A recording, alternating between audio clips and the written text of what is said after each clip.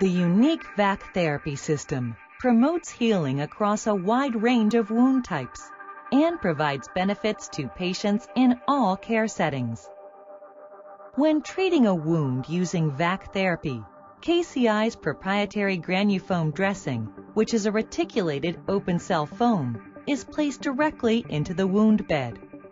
A drape and the proprietary T.R.A.C. pad are then used to cover the dressing, seal the wound, and connect it to the therapy unit. In combination with sophisticated software, T.R.A.C. technology helps provide uniform negative pressure to the wound surface.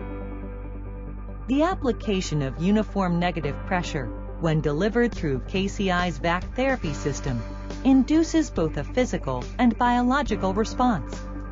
Macrostrain is the physical response that can be seen immediately as the wound edges are drawn together.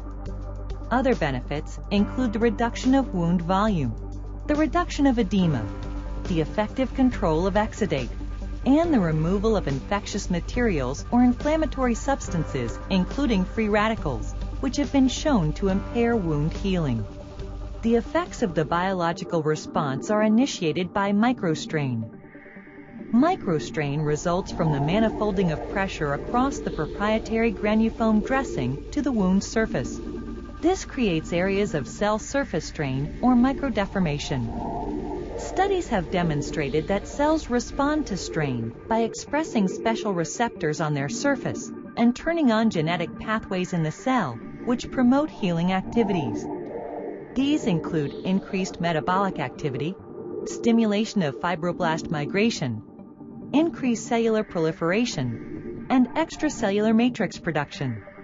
In addition, a decrease in edema and the subsequent improvement in perfusion at the wound site supply the required blood, nutrients, oxygen, and growth factors required for healing. All this leads to the formation of healthy granulation tissue in the wound bed and the characteristic undulations seen in wounds treated with VAC therapy.